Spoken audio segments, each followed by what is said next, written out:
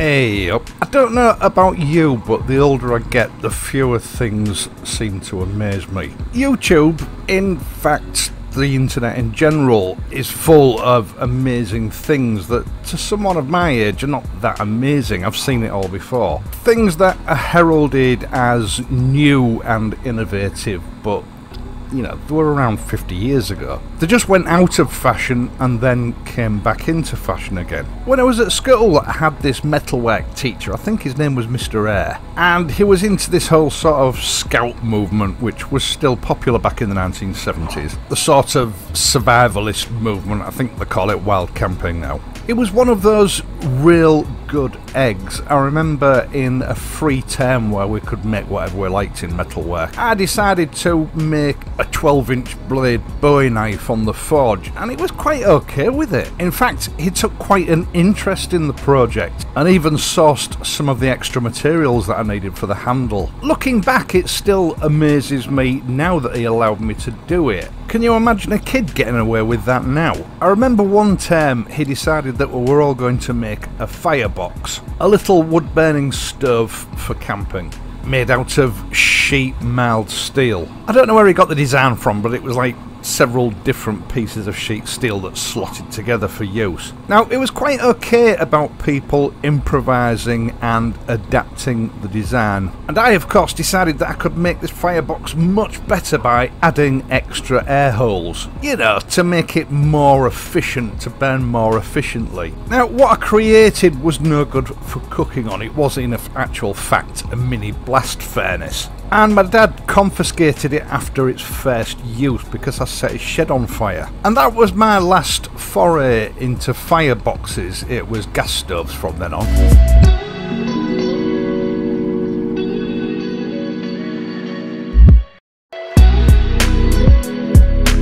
That is until a few weeks ago, when my old friends from Wingman of the Road got in touch about their new camp kitchen. Now, firebox stoves seem to have had a bit of a resurgence in recent years, with one or two well known brands charging pretty high prices for them. Wingman of the Road are a boyfriend, girlfriend, or wife husband team. They are very much of the same ilk of people like Ashley Watson. They are motorcycle travellers themselves. They know what works, they know what doesn't work. They also know that motorcycle camping is not the same as hiking. Your entire kit does not have to fold down to something the size of a pocket handkerchief only weighing as much as a paperclip. And the hard fact about most motorcycles is that they actually handle better when they've got some weight on them, so it really doesn't matter how much your kit weighs. With this in mind, Wingman of the Road tend to utilise traditional materials that are practical, durable, and stylish. Okay, I suppose I better tell you at this point that this is not a paid promotion. My views in this review are my own. I don't receive any compensation from sales that might result from this video, and just to preempt the smart ass comment saying, yeah, but you got the kit for free, didn't you? If I didn't have the kit, the review would look like this.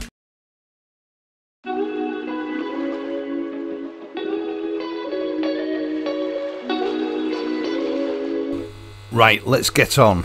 This Wingman of the Road kitchen comprises of two zip up bags, one containing your cast iron platter cum pan with a handle, and that is set into a wooden tray which also doubles up as a chopping board. Now, I'm no chef, but I've always been led to believe that cast iron is the choice of top chefs for pans because of the way it conducts heat. Your wingman of the road pan will need seasoning before use, and there are plenty of resources on the internet to let you know how to do that. Now, in the smaller zip up pouch is your firebox. It's primarily a folding design with one or two sort of slotting pieces to assemble it, and once you've familiarised yourself with the procedure, the whole thing just takes a few seconds. Your grate simply fits inside your ashtray, and the ashtray has two tabs at either end that locate into some holes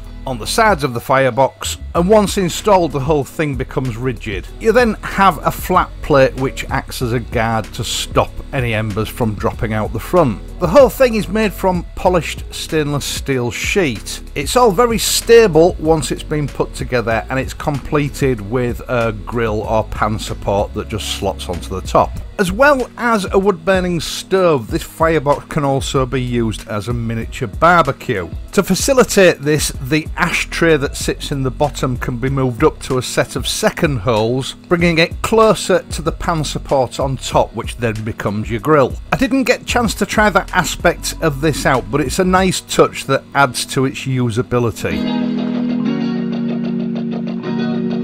Right, a quick disclaimer. Despite what we are led to believe, climate change does not cause wildfires and forest fires. In fact, these incidents very rarely occur spontaneously in nature. 99% of the time, they are caused by malicious or careless people. So, whenever using an appliance like this in the outdoors, make sure that you have the means to extinguish it quickly should you need to do so, and never leave it unattended until you have finished with it and it has completely gone out.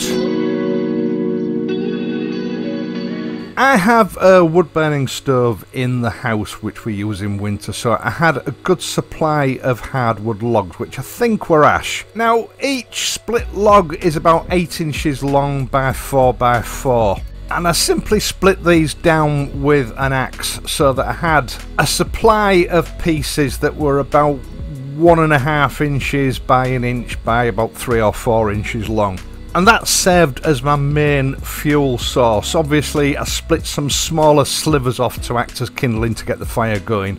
The design of the stove is very efficient. It was a still day with very little breeze, and it still caught very easily, giving a good even spread and burn. Now, obviously, because I was filming this, there were several takes, so I used more wood up than I would normally, but I reckon one of those logs if you were camping would last you an entire day you know cook breakfast and provide you with a hot drink in the morning and it would cook your evening meal again with a hot drink. So in that respect it is very efficient. The open front design allows for a very controlled burn it doesn't all just go up at once very quickly so that you're constantly feeding wood into it to try and cook a meal. And that's important because you need a good even temperature without having to constantly run around looking for firewood to keep it going. One charge with four of these little blocks of wood would easily be enough to cook a meal.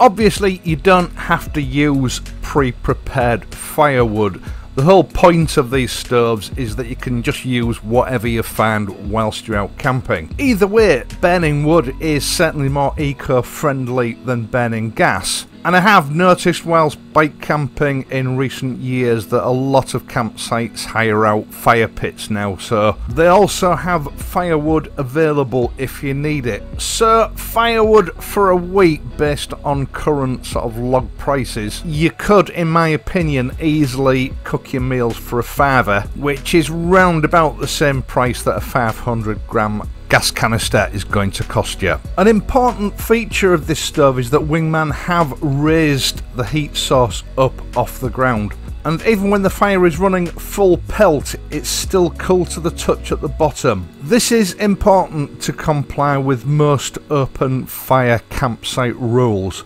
They don't like their grass scorching, although if they supply them, and most campsites do, I would also recommend putting some sort of fire support underneath it as well, just to make sure.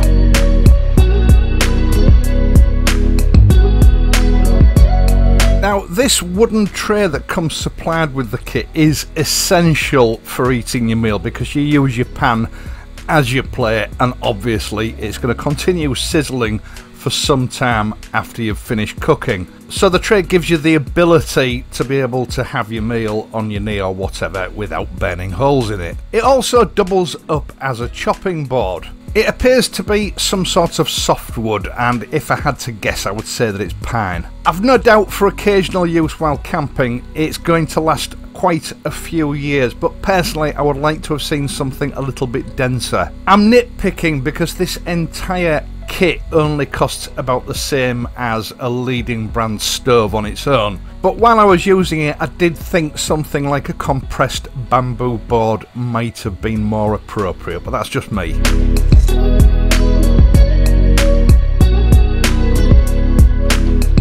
Now, this is where this whole kit actually started to amaze me. I recharged the fire, popped my pre-seasoned pan on top for a couple of minutes with a little bit of olive oil, and then started to add my ingredients. And it cooked the entire meal, including a prime British 28 day matured sirloin steak in under 10 minutes. In fact, some of my vegetables were a little bit overcooked. I think I perhaps uh, left it too long before I put the steak on.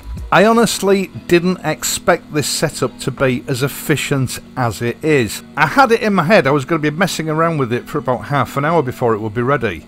And this is obviously a mixture of a well designed stove with good quality fuel combined with the voodoo of cast iron cookware. I honestly doubt I could have cooked it any better on gas, and there's something strangely alluring about cooking on an open wood fire. The whole thing was just a very satisfying experience.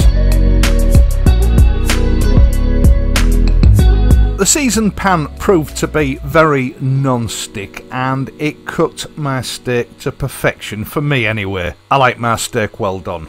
If I'm honest, I expected this whole experience to be a bit of a faff. I thought it was going to be very difficult to actually prepare a meal over bits of burning wood. But the Neanderthal in me, of which I'm told there's quite a lot, really enjoyed the whole experience of chopping wood and feeding a living, breathing fire producing a very tasty and perfectly cooked meal at the end of it. Now, I did do a little test because I knew people would ask. It will produce a rolling boil on a litre of cold water in just under 10 minutes. There is, of course, a little bit more cleanup work at the end of cooking, especially if you're travelling every day and you're needing to take this with you. You should not use detergents on your pan for cleaning. Cold water and a non-stick pan safe scrubber is all that's required. And I actually found that the black on the stove itself cleans off pretty easy using the same method.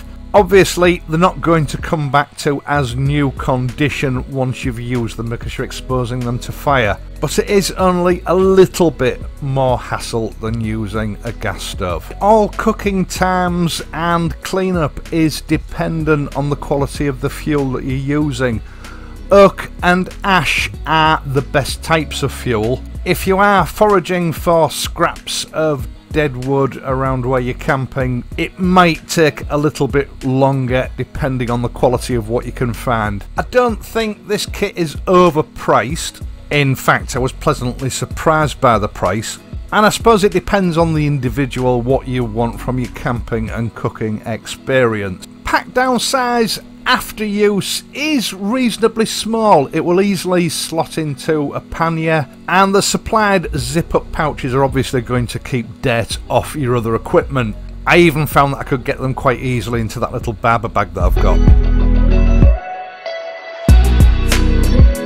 I will of course leave a link to Wingman of the Road's website so you can have a look at these kits and that'll be in the video description down below. Once again, thank you very much for taking the time to watch this video and my other videos, and in doing so, helping to support this channel.